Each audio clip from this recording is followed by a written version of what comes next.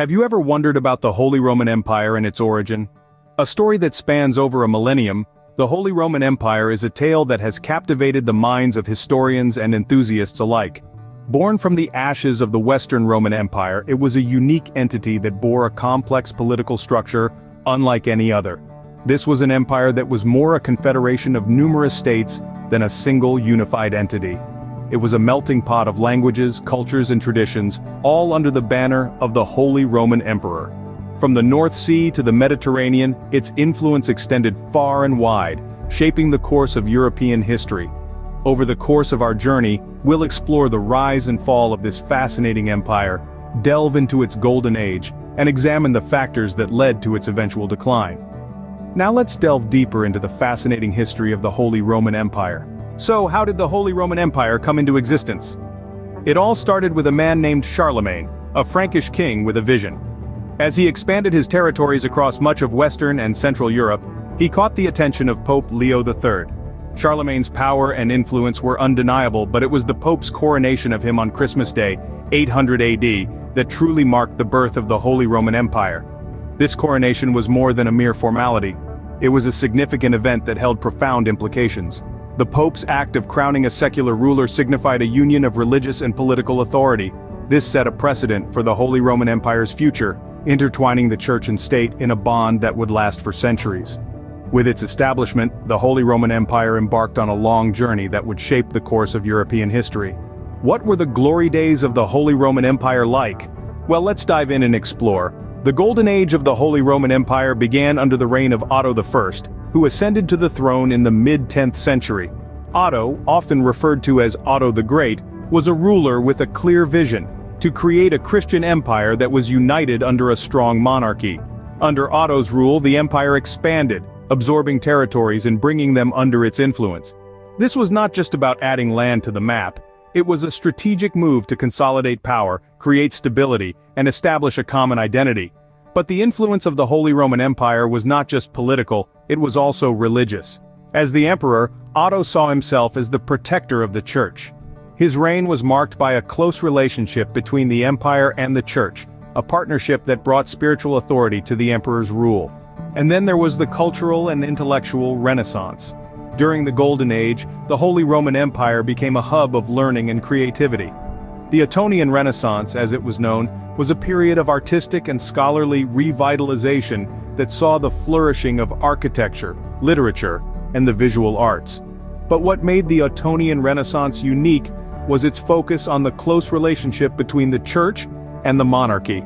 This was reflected in the art and architecture of the time, which often depicted religious themes and sought to glorify the emperor as a divine ruler. The reign of Otto and his successors, the Ottonian dynasty, brought about a period of prosperity and power for the Holy Roman Empire. They established a strong central authority, expanded the empire's territories, and fostered a cultural and intellectual renaissance. But even in its golden age, the empire was not without its challenges. There were internal conflicts, power struggles, and external threats. Yet, these challenges did not overshadow the achievements of the Golden Age.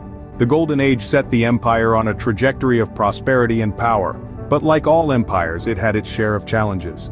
But what led to the decline and eventual fall of this once mighty empire?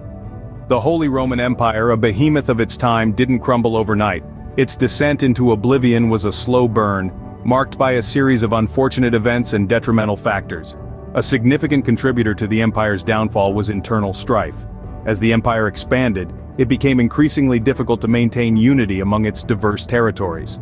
Each region held its distinct culture, traditions, and interests, and the central authority struggled to keep these disparate entities together.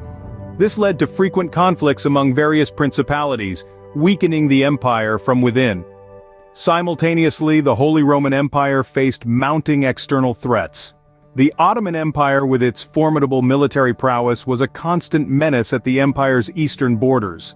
Moreover, the rise of powerful nation-states like France and Sweden posed significant challenges to the Holy Roman Empire's dominance in European affairs.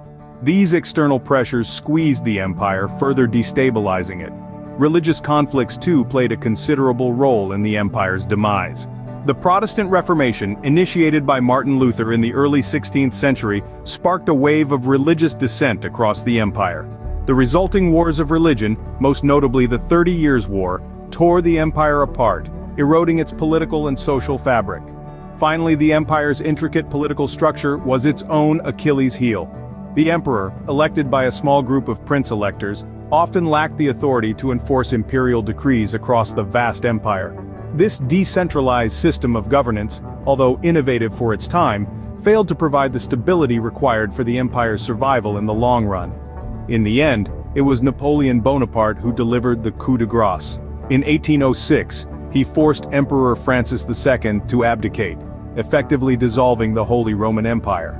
The fall of the Holy Roman Empire marked the end of an era, but its legacy lives on in the annals of history. Its story, a testament to the transient nature of power and the inevitability of change, continues to captivate us centuries later. What can we take away from the story of the Holy Roman Empire?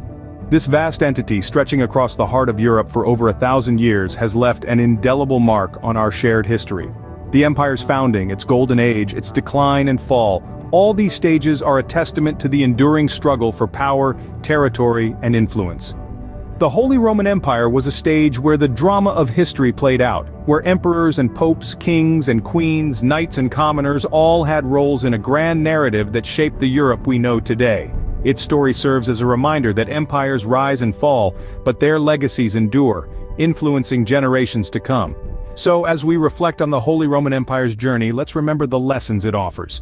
The empire's story tells us of the fleeting nature of power, the constant flux of borders, and the enduring impact of a shared past.